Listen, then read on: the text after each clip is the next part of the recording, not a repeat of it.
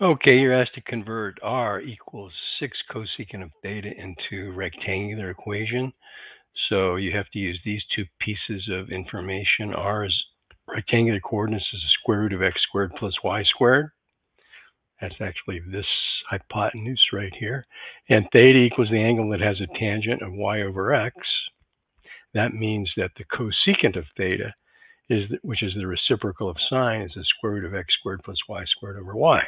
So replacing r with the square root of x squared plus y squared equals 6. Replace the cosecant of theta with its equivalent, and we can divide both sides by this. So we got 1 equals 6 over y. So y equals 6 is your rectangular equation.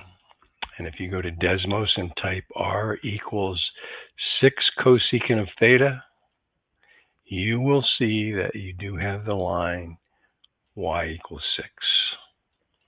Okay, there you go. Hope that helped. If you have any questions, post a comment.